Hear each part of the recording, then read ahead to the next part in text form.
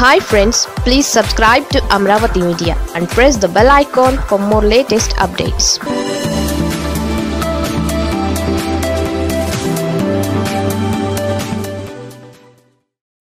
ఆత్మకూరులో YCP majority target lakh. ఉమ్మడి నెల్లూరు జిల్లా ఆత్మకూరు నియోజకవర్గానికి జూన్ నెలాఖరులో ఉప ఎన్నిక జరగనుంది. పరిశ్రమల శాఖ మంత్రి మేకపాటి గౌతమ్ రెడ్డి హఠాన్ మరణంతో ఇక్కడ ఉప ఎన్నిక అనివార్యమైంది. వైసీపీ తరపున మేకపాటి కుటుంబం నుంచే పోటీ చేస్తున్నారు. తెలుగుదేశం పార్టీ పోటీ చేయడం లేదని ఇప్పటికే స్పష్టం చేసింది. మరణించిన వారి నియోజకవర్గంలో వారి కుటుంబ సభ్యులు పోటీ చేస్తారు కాబట్టి సానుభూతిగా గతం నుంచే తెలుగుదేశం ఈ పద్ధతి ఫాలో అవుతోంది. జనసేన కూడా పోటీ చేయడం లేదని స్పష్టం చేసింది. ఆత్మకూరు నుంచి తాము పోటీ చేస్తున్నామంటూ బీజేపీ ప్రకటించింది. బీజేపీ మిత్రుడిగా ఉన్న జనసేన మద్దతిస్తుందా లేదా అనేది ఇంకా తేలలేదు.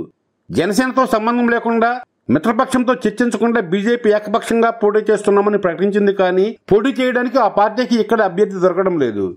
అధికార వైఎస్ఆర్ కాంగ్రెస్ పార్టీ కూడా ఇక్కడ పోటీ జరగాలనే కోరుకుంటోంది.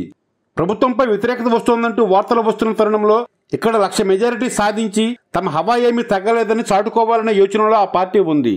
తమ ప్రభుత్వంపై ప్రజల్లో ఎక్కడా వ్యతిరేకత లేదు అని చెప్పుకోవడానికి ఈ ఉప ఎన్నిక లక్ష మెజారిటీ ఉపయోగపడుతుందని ప్రభుత్వం భావిస్తోంది. బీజేపీ అభ్యర్థి కోసం వేటలో ఉంది. కానీ ఢిల్లీ నుంచి హైకమాండ్ మాత్రం ఇక్కడ పోటీకి అనుమతిచ్చిందా లేదా అనే విషయంలో స్పష్టత లేదు. కానీ బీజేపీ నేతలు మాత్రం పోటీకి సిద్ధమవుతున్నారు. చివరి నిమిషంలో బీజేపీ పోటీ నుంచి తప్పుకున్నా ఇక్కడ ఎన్నిక మాత్రం అనివార్యంగా కనిపిస్తోంది. ఎందుకంటే ఇక్కడ తొలి రోజు రెండు నామినేషన్లు దాఖలయ్యాయి. పీపుల్స్ రిపబ్లిక్ పార్టీ నుంచి గోద రమేష్ కుమార్ నవతరం పార్టీ నుంచి రావు సుబ్రహ్మణ్యం నామినేషన్లు దాఖలు చేశారు. జూన్ ఆరవ తేదీ వరకు నామినేషన్ల స్వీకరణకు అవకాశం ఉంది. నామినేషన్ల ఉపసంహరణ గడువు జూన్ తొమ్మిదిగా నిర్ణయించారు. ఆ తర్వాతే ఆత్మకూరు ఏకగ్రీవం అవుతుందా పోటీ జరుగుతుందా అనేది తెలుస్తుంది.